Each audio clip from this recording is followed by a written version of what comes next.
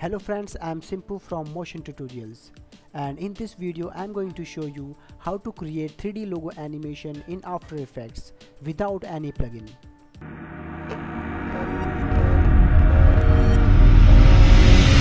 So without any further ado, let's jump straight into Illustrator and get started. Here you can see I have already created this logo in Illustrator using pen tool so you don't need any fill color and stroke in that.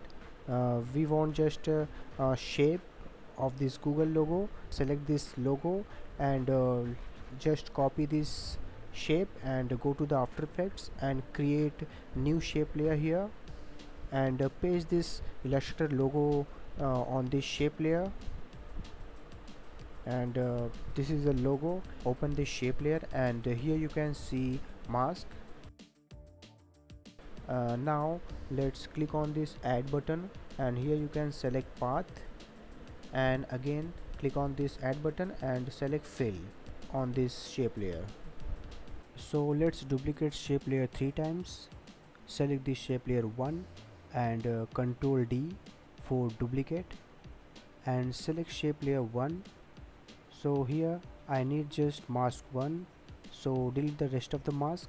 I don't need that anymore follow the same process in layer 2 and here I just need mask 2 and delete the rest of the mask. And uh, layer 3 I just need mask 3 and uh, last one layer 4 I just need mask 4 and delete the rest of the mask. As you can see here I have total 4 masks so first select mask 1 and copy this mask property and uh, paste this mask property on path and delete this mask one. And uh, select mask 2 and uh, copy this mask path property and uh, paste on path and delete mask 2 so follow the same process for mask 3 and mask 4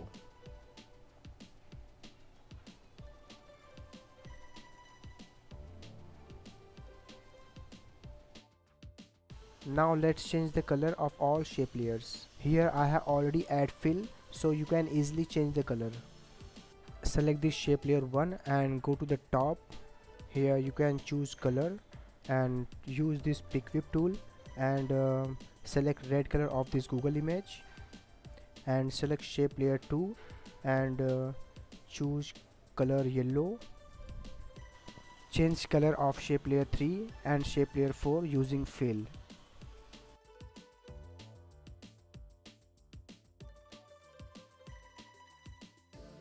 Now select all shape layers and press U. This is the shortcut key of hidden keyframe. And then go to the composition and select composition setting and here click on this 3D render and uh, turn on Cinema 4D. When you enable the Cinema 4D option then you can turn this 2D logo into 3D. Now again select all shape layers and turn on 3D option and then right click on the timeline and select camera uh, select two node camera and uh, 50 mm click on ok and then right click on the timeline and select null object and turn on this null object 3d option and connect camera with parent. And then select null object and press R. Here you can access to rotate this logo in 360 degree. Now let's again select all shape layers and uh, here you can see geometry option in each shape layer.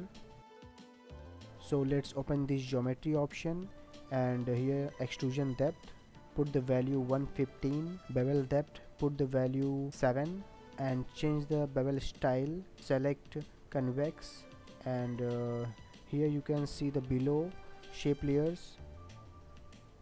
Automatically change the same value. Because I have selected all shape layers at the same time. Now select the null object and let's see the result. Here you can see the nice depth in 3d logo.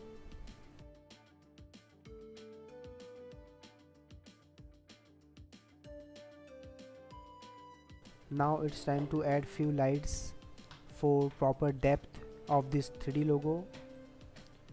So right click on this timeline and here you can select light and first select spotlight and click on ok. Then uh, go to the right side of this for view option. So here you can see for view at the same time. I want rotate of this spotlight. So uh, put the 180 value X rotation and uh, drag this spotlight at the back side of this 3D logo and then go to the normal view of this camera and uh, then let's add few more lights and here select point light. Drag this point light at the top and a little bit adjust and then select point light 1 and duplicate control D and uh, drag at the bottom and uh, little bit adjust. And now let's check how it's work. So select the null object and rotate Y rotation. Logo is looking very nice. So last thing you can add material of this logo. So logo would be shinies and metallic effect.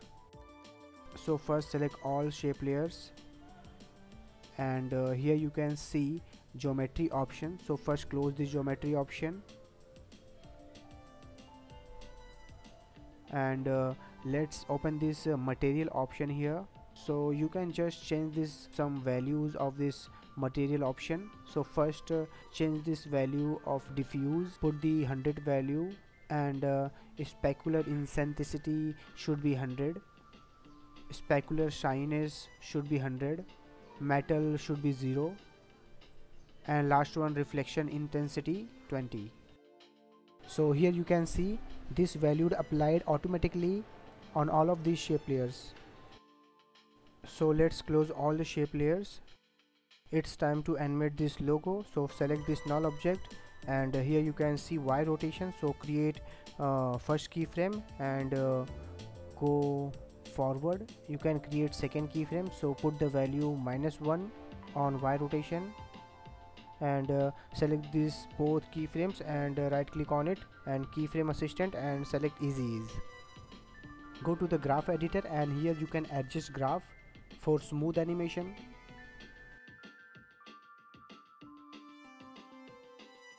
Now let's play how it's look